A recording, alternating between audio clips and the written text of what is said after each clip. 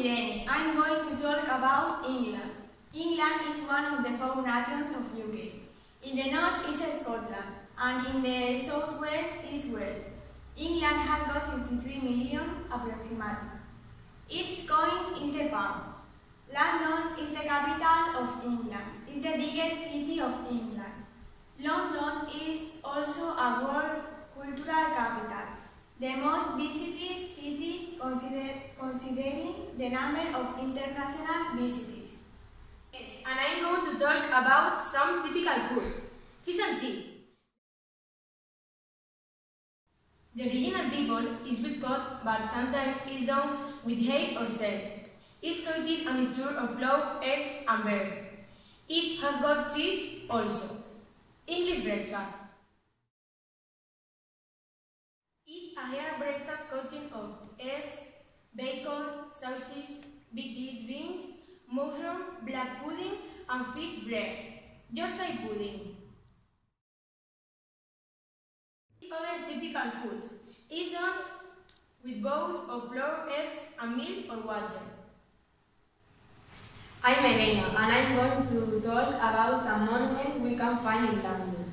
In this city there are a lot of monuments uh, like the London Tower, the Buckingham Palace or the London Bridge. But I want to focus on two of them, the Big Ben and the London Eye. The first one is 135 meters Ferris wheel, the highest one in Europe. It's placed next to the County Hall. This construction uh, cost uh, 70 million pounds and the architect was Frank Anton. Uh, if you want to have a ride, you can eat 30 minutes. The Big Ben is the Bell Clock uh, on the north end of the Palace of Westminster. It's around 93 meters uh, high and is one of the most important symbols in London. Sign it was uh, built in 1859. I'm Lucia and I'm going to talk about for the costume of England. There are several traditional costumes, for example, the dress of the Morris. The clothes consist a white shirt and trousers, accompanying four pilots with belts to accompany with salt the moment of the dance.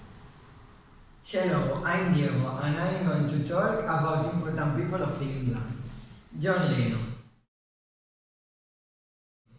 John Lennon was born in Liverpool on October 9 of 1940 and he died on December 8 of 1980. He was an artist and musician. He was one of the founders of a rock band, The Beatles. William Shakespeare. William Shakespeare was born in Stratford-upon-Avon on April 26 of 1564 and he died on April 23rd of 1616. He was an English poet and actor. Shakespeare is generally recognized as the best writer of all times. He wrote famous novels as Romeo and Juliet, Hamlet, or Macbeth.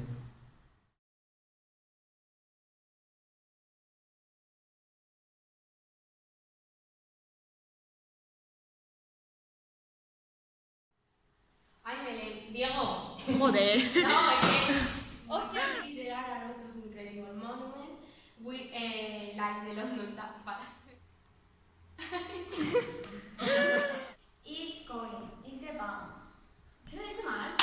Irene Cari. Is the capital cultural. No puedo más. ¿Ves cómo no vas a John Lennon. John Lennon was born writer of all, of all time. Uh, he wrote Yes, and I'm going to talk about some typical food. Fish and chips. ¡Hay que pararlo! Inés, no. To combine, no talk about the costume of the of There are some no sé, point. ¡Oye, tú le